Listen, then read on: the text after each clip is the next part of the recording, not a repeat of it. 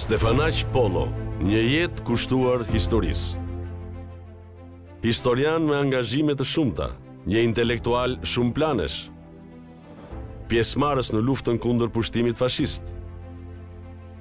Hodhi themelet e institucioneve shkencore në vend dhe i kushtoi vitet e tij të arta çështjes së rilindjes kombëtare.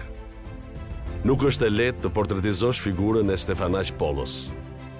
Vepra dhe kontributi i tij kanë qenë thelbësore në ndërtimin e Fakultetit Histori-Filologji, Institutit të Historisë dhe Akademisë së Shkencave, si dhe në shkëmbimet shkencore-arsimore mes Shqipërisë dhe Kosovës. Stefanaq Pollo lindi më shtatë shkurt një mijë e nëntëqind e njëzet e tre në Përmet. Ai ishte fëmija i treti i Themistokliut e i Aretisë. I ati, kishte emigruar në fillim të shekullit të njëzet në Amerikë, në Boston, Massachusetts, e St. Louis, Missouri, dhe ishte një ndër aktivistët e lëvizjes patriotike shqiptare. Me porosi të Fan Nolit, Themistokliu kthehet në atdhe në vitin 1911. takon Edith Durhamin në Podgoricë e më pas i dorëzon flamurin shqiptar të Vatrës Ded Gjo Lulit dhe udhëton me kryengritësit nga Gjakova në Përmet, ku ngren flamurin e pavarësisë. Nëna Areti Pollo Frashëri ishte një grua e kultivuar që kishte botuar poezi, si për shembull në 1908 në revistën Shqip Kalendari Kombiar që dilte në Sofje, Bullgari.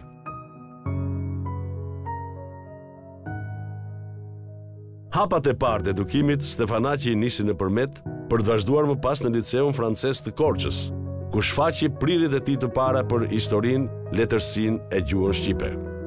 Që në moshë të re, ai dëshmoi talent poetik dhe ndjeshmëri artistike. Këto spikasin në poezinë ishte një herë, kushtuar një dashurie tragjike të botuar në gazetën Tomori, kur Stefanaqi ishte 19 vjeç.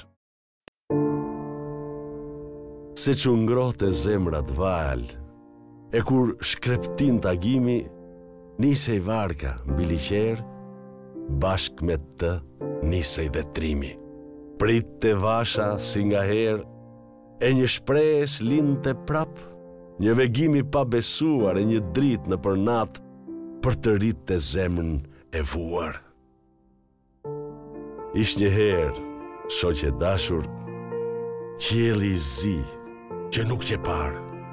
Atje tej liqeri i hapur gumëzhinte plot lojtarë, ish një ditë e nxirë, sterë, e liqeri, me të ngrysur, u shtrëngata zu të bjerë. Solli anës një të mbytur, e buçiti gjëmë e madhe, mbi liqerin e egërsuar, nëpër pyje nëpër male se ç'u mbyt një trim i shkruar.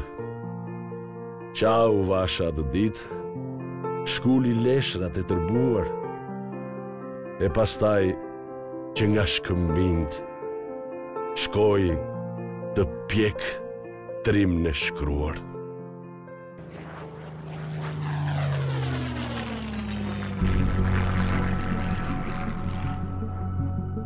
Do të ishte pushtimi i vendit nga Italia në vitin 1939 që nxiti shumë liceistë në aktivitete të rezistencës antifashiste. Stefanaqi do të ndërpriste studimet në vitin e fundit të liceut për t'u përfshirë në organizimin e qëndresës në qarkun e Korçës. Më vonë ai do të jetë kryeredaktor i gazetave Kushtrimi i Lirisë dhe Zëri i Rinisë, si dhe aktiv në Divizionin e Dytë Sulmues. Në Kongresin e Parë të Bashkimit të Rinisë Antifashiste Shqiptare, ai zgjidhet anëtar i Këshillit të Përgjithshëm.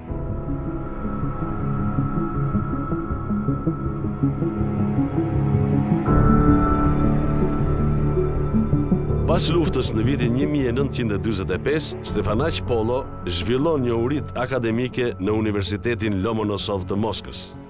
Konceptimi i tij për historinë dhe shkencën do të kompletohet në atë oazë dijeje. Ai do të spikasë për formim shkencor, aftësi interpretuese e vlerësuese. Pas diplomimit me rezultate të shkëlqyera, ai kthehet në atdhe për t'iu përkushtuar shkencës dhe sidomos lëvrimit të historisë. Stefanaqi njihet me Liri Lavdën, ose Lolën, siç e thrisnin, mësuese e gjuhës dhe e letërsisë shqipe. Ata martohen në vitin një mijë e nëntëqind e pesëdhjetë e gjashtë. Pas dy vjetësh vjen në jetë Anila e pas shtatë vjetësh Genci. Historia, pasioni i tij. Bëjeni pasionin tuaj punën tuaj dhe nuk do t'ju duhet të punoni asnjë ditë. I tillë ishte dhe pasioni i Stefanaq Pollos për historinë dhe arsimin. I sapodiplomuar, njëzet e tetë vjeç, nis punën si pedagog i historisë në vitin një mijë e nëntëqind e pesëdhjetë. Me një vizion shumë të qartë të perspektivës, Ai ngulmoi që arsimi ynë i lartë të ndërtohej me standarde të kohës, me synimin për të arritur sa më shpejt nivelin e institucioneve analoge të vendeve të përparuara me tradita e përvojë të konsoliduar. Stefanaq Pollo hartoi tekstet e një numri disiplinash formuese në Institut dhe ka meritën që krijoi fizionominë e tyre të parë në auditoret tona. Ai ka dhënë një kontribut në fushën e hartimit të planeve dhe programeve fillestare mësimore të arsimit të lartë në Institutin Pedagogjik Katërvjeçar të Tiranës, në Institutin e Shkencave e më pas në Fakultetin e Historisë dhe Filologjisë. Në vitet një mijë e nëntëqind e pesëdhjetë e një, një mijë e nëntëqind e pesëdhjetë e shtatë, pedagogu Stefanaq Pollo do të vazhdojë detyrën si nënkryetar i Institutit të Shkencave. Veç punës së tij të gjerë në fushën e arsimit, ai ka dhënë një kontribut të shquar në organizimin e studimeve historike dhe albanologjike. Aftësitë e tij organizative ai i vuri në jetë në organizimin e Arkivit të Shtetit, të Muzeut të Shkencave të Natyrës, të Shërbimit Hidrometeorologjik dhe Laboratorit të Kërkimeve Kimike. Në nëntor një mijë e nëntëqind e pesëdhjetë e dy ai do të drejtojë punën organizative të Institutit për Konferencën Kombëtare me temë Formimi i Kombit Shqiptar dhe fillimet e Lëvizjes Kombëtare Shqiptare. Si një njohës i mirë i historisë shqiptare, ai kishte një forcë të analizës dhe sintezës shkencore, një objektivitet e logjikë të rreptë dhe një mprehësi të vëzhgimit e të arsyetimit. Në referatin e tij, Probleme të rilindjes kombëtare shqiptare, ai do të reflektojë një varg tezash themelore për burimin, origjinalitetin dhe gjenezën e popullit shqiptar, për karakterin autokton të këtij populli në trojet e sotme, për rolin aktiv e dinamik të shqiptarëve në marrëdhëniet historike me popujt e tjerë, për njësinë e gjuhës shqipe e të kulturës shqiptare.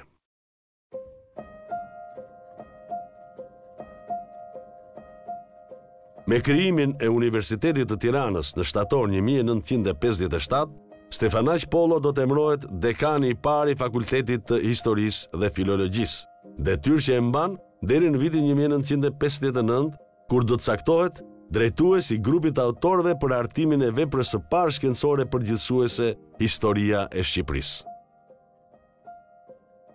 Akademik Stefanaq Pollo do të emrohet në 16 shkurt 1972 drejtori i parë i Institutit të Historisë së Akademisë së Shkencave, post që e mbajti deri në vitin 1989.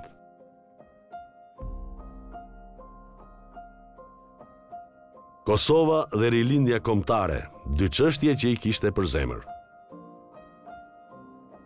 Marrëveshja Shqipëri-Kosovë, një ngjarje e rëndësishme.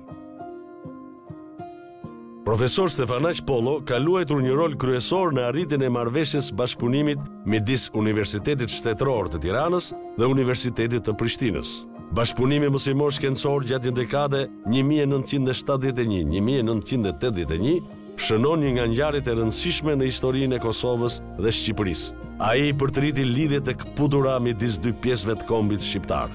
Përmes këtij bashkëpunimi, u bënë hapa të rëndësishëm drejt integrimit, sidomos në lëmin e arsimit, shkencës, artit, kulturës, gjuhës, mjeteve të informimit etj.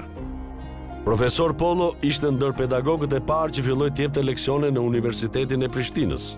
Studime bashkohore i atribuojnë këtij bashkëpunimi institucional rolin kyç në influencën e Universitetit të Prishtinës për rizgjimin e ndërgjegjes kombëtare ndër shqiptarët e Kosovës. Profesor Stefanaq Pollo mbajti referatin Lidhja Shqiptare e Prizrenit dhe lufta e saj për çlirimin e Bashkimin Kombëtar. Periudha e Rilindjes Kombëtare ka qenë fusha kryesore ku i përqëndroi studimet Profesor Pollo. Ai ka bërë analiza e shpjegime të qarta e të sakta rreth karakterit, përmbajtjes dhe synimeve themelore të Rilindjes. Kërkimet për këtë periudhë ai i ka paraqitur sidomos në përmbledhjen me dy vëllime në gjurmë të historisë shqiptare, ku e paraqet Rilindjen, një periudhë të re, cilësisht më të lartë të historisë sonë kombëtare, e cila çoi në shpalljen e pavarësisë së Shqipërisë dhe në krijimin e shtetit të pavarur shqiptar. Kësaj çështjeje do t'i kushtojë një numër të madh artikujsh në gazetat e revistat e kohës, sidomos ato shkencore. Atdheu u vu në qendër të mendimit politik e shoqëror të rilindësve, për të ngjallur e forcuar dashurinë ndaj tij dhe lidhur me këtë për të vënë interesat e larta të tij mbi ato vetjake, krahinore apo klasore. Nocionet e reja të kombit, të atdheut, të atdhedashurisë, qëndruan në bazë të idesë së madhe të lirisë, pavarësisë dhe sovranitetit kombëtar që përbënte dhe synimin madhor të Rilindjes. shkruante Profesor Pollo në konceptin rilindës mbi atdheun e përbashkët. Mbledhjen solemne në emër të Komisionit Qendror e hapi Shoku Kahreman Ylli i cili ia dha fjalën Shokut Stefanaq Pollo. Lidhja e Prizrenit, nëntëdhjetëvjetorin e së cilës ne kremtojmë sot, është një nga ngjarjet e mëdha të historisë së re të popullit tonë, një pikë kulminante dhe një moment kthesë në vargun e ngjarjeve politike, ushtarake, ideologjike e kulturale të asaj epoke të shquar që ka hyrë në histori me emrin Rilindja Kombëtare Shqiptare. Pastaj ai vazhdoi. Shekulli nëntëmbëdhjetë është përgjithësisht shekulli i zgjimit kombëtar e i lëvizjeve nacionalçlirimtare në Ballkan, të cilat kanë lindur e janë zhvilluar në kushtet e çthurjes së feudalizmit dhe të lindjes e zhvillimit të kapitalizmit. Edhe Rilindja jonë Kombëtare është rezultat i rritjes së forcave ekonomike, shoqërore dhe i ndërgjegjes kombëtare, i dekadencës së pandalur të Perandorisë Osmane dhe i ndikimeve ideologjike e politike të demokracisë revolucionare të kohës.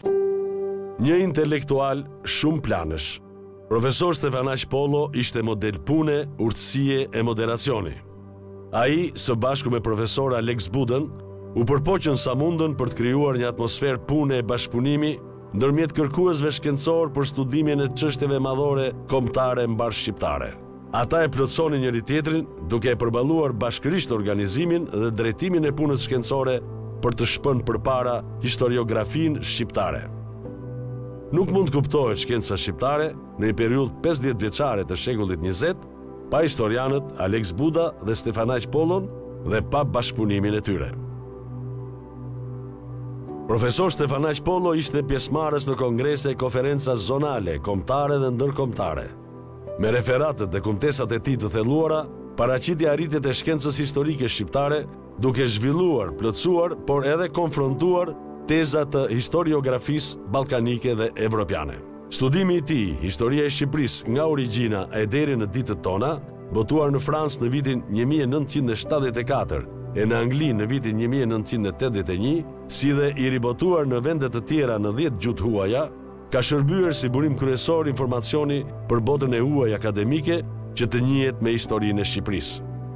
Profesor Stefanaq Pollo ishte ndër të parët që shkroi artikuj në median evropiane në mbrojtje të të drejtave të vëllezërve shqiptarë kosovarë, duke argumentuar shkencërisht, si për shembull, me artikullin Mite përballë realitetit, të botuar në gazetën franceze Le Monde në 4 qershor 1981, të vërtetën historike se populli shqiptar i Kosovës banon në trojet e stërgjyshërve të lashtë dardanë. Por le të kthehemi përsëri në sallat e Kuvendit në ditën e fundit të tij për të dëgjuar fjalën e Profesor Stefanaq Pollos. Kuvendi i parë i Studimeve Ilire po i jep fund punimeve të tij. Gjatë pesë ditësh pune të dëndur e të frytshme.